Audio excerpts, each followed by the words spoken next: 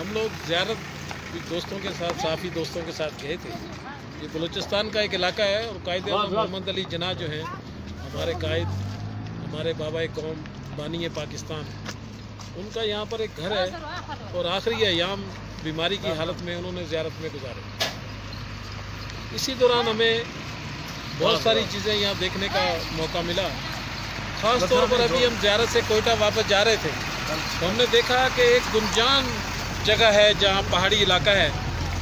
یہاں پر چھوٹے چھوٹے بچے ہاتھوں میں کوئی بوٹی ٹیپ کی کوئی چیز لے کر یہاں کھڑے ہوئے ہیں۔ یہ چھوٹے چھوٹے بچے ہیں اور یہ پانچ روپے، دس روپے میں وہ ایک تھیلی فروخت کر رہے ہیں۔ اب یہ پہاڑی علاقہ ہے، ہم نے یہاں ان بچوں سے بات کرنے کی کوشش کی تو یہ ہماری زبان نہیں سمجھ رہے، لیکن تھوڑی بہت ہم نے جو معلومات ان سے ملی تو پتہ چلا کہ یہ انتہائی غریب لوگ ہیں۔ اور یہ شام کو پچاس روپے کماتے ہیں۔ یعنی کہ پچاس روپے ایک بچہ کماتا ہے پانچ روپے کی تھیلی دس تھیلی صبح سے شام تک فروخت ہوتی ہے۔ اور وہ یہ بچے ان کی حالت آپ دیکھیں اس بچی کو دیکھیں آپ۔ اس بچی کو دیکھیں۔ دل روتا ہے اس بچی کو دیکھ کر۔ یہ ایک مسلمان بچی ہے۔ یہ اس پاکستان کی شہری ہے۔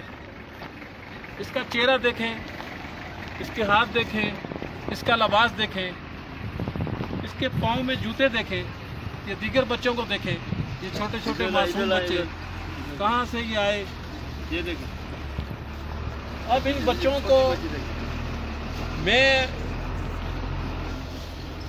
بات کرنا بھی مشکل ہو رہا ہے۔ عمران خان صاحب آپ نے تبدیلی کا نعرہ لگایا تھا۔ آپ صرف اور صرف اسلام آباد کے وزیر اعظم نہیں ہیں۔ آپ پورے پاکستان کے وزیر اعظم ہیں۔ آپ کو پورے پاکستان کو دیکھنا ہے۔ حضرت عمر کے دور میں یہ کہا گیا تھا کہ کتا بھی درائے فراق پر اگر بھوک سے، پیاس سے مر گیا تو عمر اس کا جواب دہ ہوگا۔ آپ اس پاکستان کو مدینہ کی ریاست بنانا چاہتے ہیں تو یہ جو بچے بھوک سے مر رہے ہیں، جن کے پاس پہننے کے لیے کپڑے نہیں ہیں، جن کے پاس کھانے کے لیے روٹی نہیں ہے آپ تو تعلیم کی بات کر رہے ہیں۔ آپ تو کہتے ہیں اچھی تعلیم دلائیں۔ ان بچوں کو تعلیم نہیں چاہیے۔ ان بچوں کو ایک وقت کی روٹی چاہیے۔ ان بچوں کو اچھا صاف ستھرا پانی اور صاف ستھرا پہننے کے لیے کپڑے چاہیے۔